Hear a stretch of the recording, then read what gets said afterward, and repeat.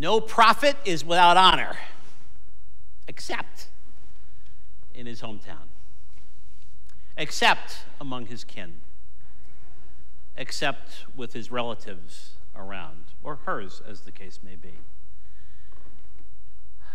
Henri Nouwen was one of the great pastoral theologians of the last century. And Nouwen was a Catholic priest, and he wrote about, about his expectations as he approached his ordination. He said, he said, I thought I would be the family priest.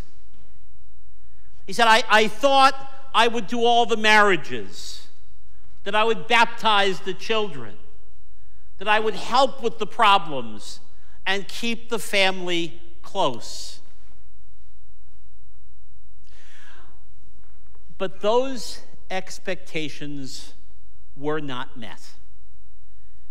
He went on to say, What I discovered was that the marriages didn't stay together. The children weren't baptized, or if they were, they didn't keep coming to church.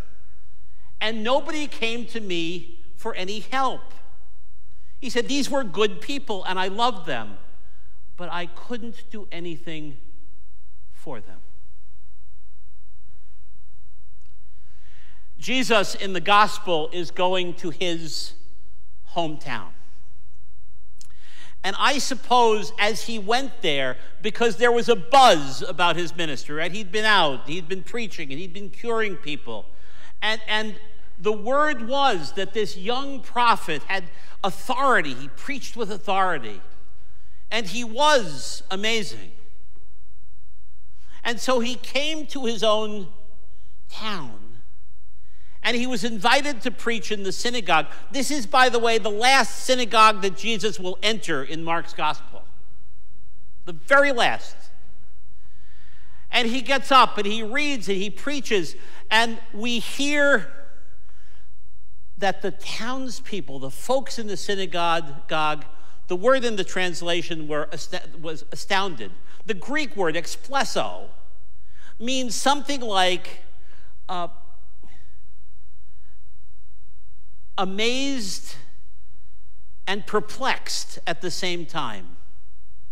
It's like, who's he? Who's he, this carpenter's son? And we know his mother and we know his family. Who is he to come back here and teach us like he's better than we are?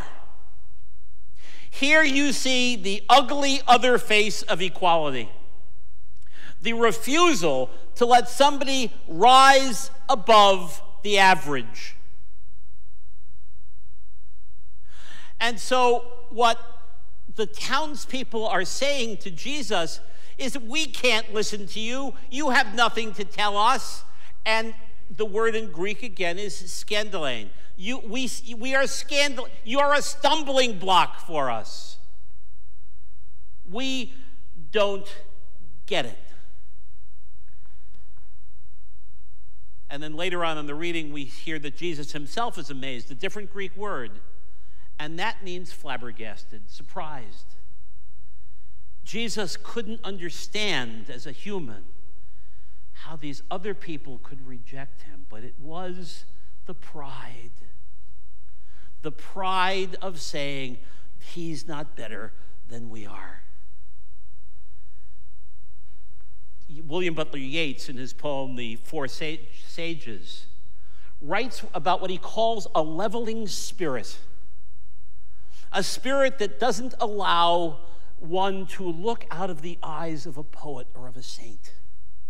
We don't let people rise.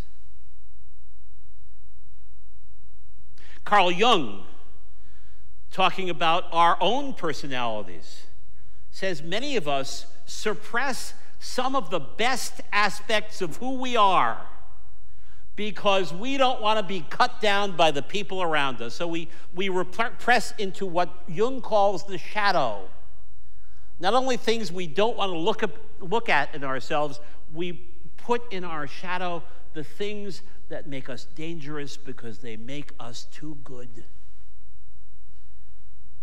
And I think one of the challenges of this gospel is to free each other from that leveling spirit. What we see in Nazareth is the people there couldn't benefit from this great prophet. Jesus is the long awaited one. He's the, he's the main event of history.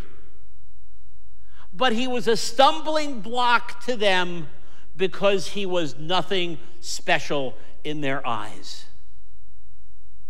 How often do we reject what is marvelous around us because it comes through the medium of someone who seems to us not to be so special?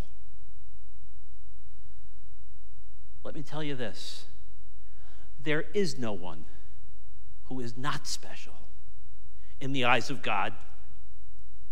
And we should expect to hear the voice of God from the most unlikely places and through the mouths of the most unlikely people. And our humility, and we need to pray for that humility, must make us able to attend, to listen, to hear, and to allow our lives to be blessed by the God who never tires of blessing. But we get those blessings on God's terms and not on ours. And so this gospel calls for us to be attentive. Attentive to the best within ourselves. Let's not be afraid of, of those urges of generosity or brilliance that we find in ourselves. They're gifts from God. And those gifts are not given for you to just keep the lid on them. Your gifts are given to you to, in turn, give those gifts to others.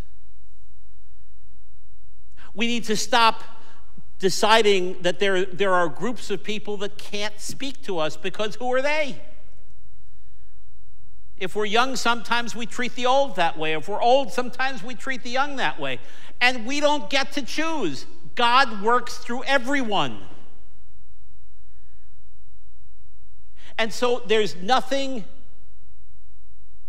that God surrounds us with that isn't filled with blessing if we allow ourselves to see it. Now, Jesus could have been defeated by this, by this uh, event in his hometown, but he wasn't. He wasn't because he knew his mission. I think it was Mark Twain who said, The two most important days in a person's life are the day you're born and the day you know why you were born. Jesus knew why he was born, Jesus knew his mission. And so he would not be deterred. He left Nazareth and he, he anointed his 12 and sent them out, force multipliers. And they healed many sick people and they brought the message of repentance to others. And they advanced his work. And he went on to complete his mission on Calvary we have also been born to do some great thing. And that great thing is great in God's eyes, even if it doesn't seem to be such so important in our lives. You know, Patrick and Elizabeth in the back of the church there, they're holding some great thing. They're holding a little one year old. That is God's blessing Every child is God's way of saying life goes on. And so, what is it that we need to go on and do? Every moment of our lives is charged with meaning. You don't have to be young, you don't have to be uh, in the middle of life.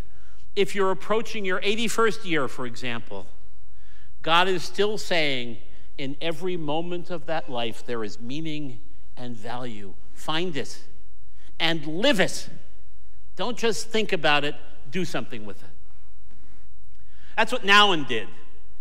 Nouwen wasn't able to convert his family, but he went on to be a brilliant teacher of, of, of pastors. He wrote tens, 20, 30 books, maybe.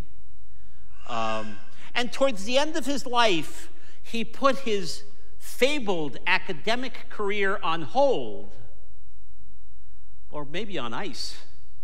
And he went and lived in a community of developmentally disabled people in Canada, L'Arche. And he found in those developmentally disabled people God's love, God's power, God's voice.